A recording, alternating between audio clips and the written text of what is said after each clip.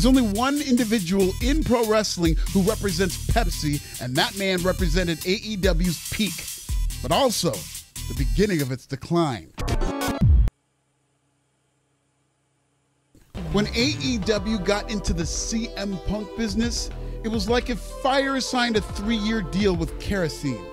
CM Punk is one of the biggest stars to walk the face of the earth in pro wrestling. But like most top stars in wrestling, he comes with a lot of baggage. Punk thrives under strong leadership and organization.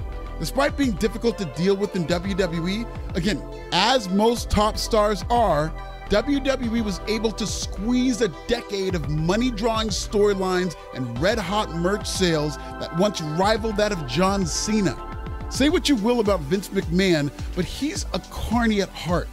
To deal with the locker room filled with egomaniacs who all think they should be top stars, you don't necessarily need a McMahon, but you do need a strong man. AEW was hitting on all cylinders and seemed to be just the place for Punk's comeback tour.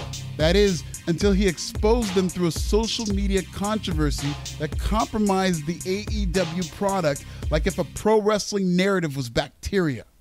CM Punk's time in AEW was a microcosm of the promotion itself, a hot, memorable start, one that set a positive tone early Punk had great matches and even a pair of world title wins, only to fall apart due to infighting and paranoia facilitated by a leaderless environment where the garbage men ran the disposal.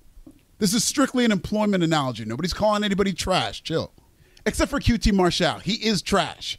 I'm just playing QT. You know we love you. CM Punk's Brawl Out and Brawl In were telltale examples of a promotion that didn't know how to handle its most flammable asset, but also didn't know how to part ways with him until their lawyers had to get involved. AEW diluted its product by adding a third television show to placate CM Punk. But Punk was gone a couple months later, with no brand split and a fraction of WWE's audience AEW having three shows felt excessive and essentially killed the Rampage brand name not too long after the show did over a million viewers for CM Punk's debut. Rampage is now the Sunday night heat of AEW, while Collision is like a mid 2000s SmackDown when it was clearly the B show. Hurricane Phil ran through AEW and left a stench on the promotion that continues to linger. In the wreckage of all these CM Punk controversies, AEW found it difficult to move on. Not only did the product suffer, despite signing one free agent after another, but they seemed obsessed with the CM Punk drama. Punk debuted with WWE as the promotion continued to pour it on AEW.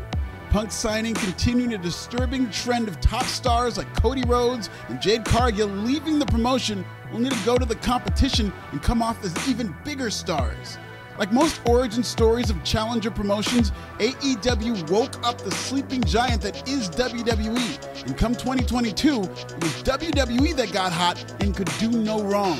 By November of 2023, CM Punk's return kicked off a WrestleMania buildup that is unrivaled.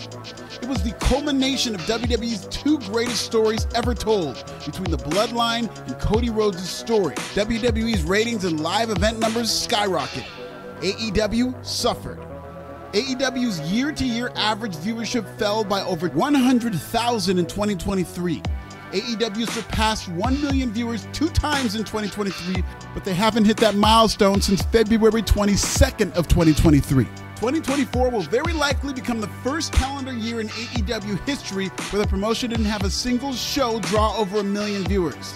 AEW's desperation to increase ratings in the face of TV contract negotiations have led to bad booking decisions. The worst of which was AEW revisiting its disastrous CM Punk situation by advertising the promotion would air the previously unseen CM Punk footage from All In when he fought Jack Perry. This in reaction to a podcast appearance from Punk, who essentially described the situation exactly as it had happened. AEW's goal was to clear its name during an internet controversy, but all it seemed to do was confuse its own TV fan base, most of whom are not familiar with Dirt Sheet tea. If you follow the ratings for the CM Punk angle, many of the younger fans seem to think this was a sign that AEW may be teasing a match between Punk and Perry, which would mean the return of CM Punk, AEW's biggest star. AEW did one of its best ratings of the year for the surveillance show, but that came and went. AEW didn't build momentum to its current storylines coming out of that show. The opposite happened. AEW's 819,000 viewers for the Brawl In recap was a huge increase from the 752,000 the week before. But AEW Dynamite fell to 762,000 and bottomed out with 683,000 views the week after, its worst viewership in years.